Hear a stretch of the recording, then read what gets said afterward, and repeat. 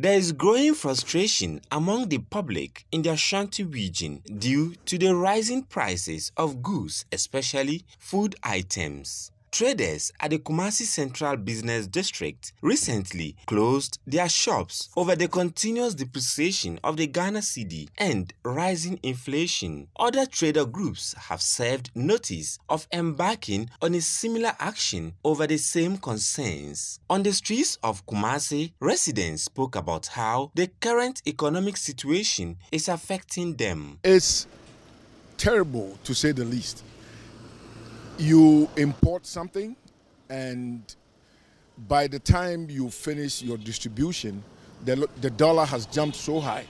So by the time you convert your money back into hard currency you're already losing money. And then our duty is quoted in dollars.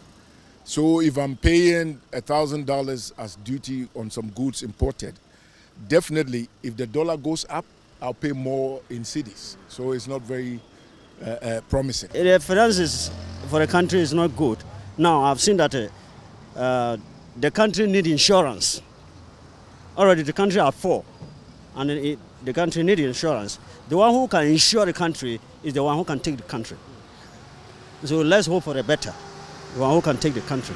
President Akufo-Addo, during a tour of the Ashanti region, dismissed calls for the sacking of his finance minister during a radio interview. But for residents, the call by some majority MPs for the dismissal of the finance minister is welcoming news. You see, if the key members of the government are saying that the finance minister should go, then I, I believe it has uh, uh, uh, a lot of benefit for us, especially those of us who are sympathizers of the NPP. If they are telling the, the president to get rid of the finance minister, and we all know how the economy has been, how the cedi is falling against the dollar, which makes everything else difficult. I think a reshuffle would definitely bring uh, some sort of confidence the minister should be changed because that is the clarion call of everybody that he should be changed. So he should be changed. And let's see the way forward. Do you think that that will make the magic? Well, whatever be the case, when there is a change, new ideas will also come. We don't know. Until he became the minister, we didn't know him much. So let somebody also come and let's see what will happen.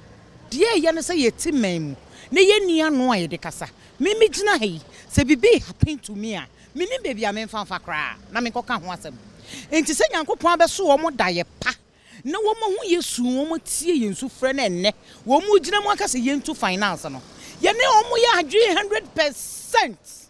Yɛntu ne nnɛ ɛkyɛn koraa ka ho. Deɛ kɔ so no bra emu ɔyɛ o ɛnso hwan na wusu a wɔne su ekotɔ n'anim?